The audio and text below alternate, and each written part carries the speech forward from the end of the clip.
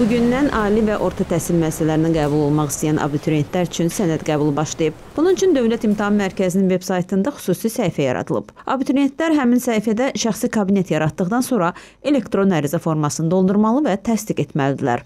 Abituriyentlərə icazə verilir ki, 1-ci, 2-ci, 3-cü, 4-cü ixtisas qruplarından hər hansı birini seçsinlər. Eyni zamanda 5-ci ixtisas qrupunu və kim istəyirsə kolleclərə qəbul olmaq istəyənlər xüsusi bəndi ayrıca qeyd eləməlidirlər ki, onlar tam orta təhsil bazasında orta ixtisas təhsili müəssisələrinin müsabiqəsində iştirak eləmək istəyirlər.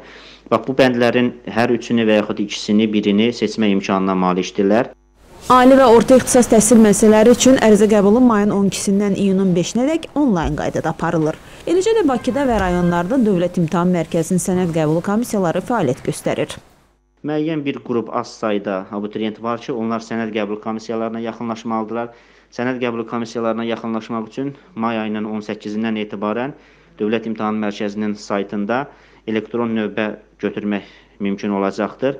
Həmin o növbədən istifadə eləməklə komissiyaya yaxınlaşacaqlar, sənədlərini təqdim edəcəklər və ərizələrini təsdiq etdirəcəklər.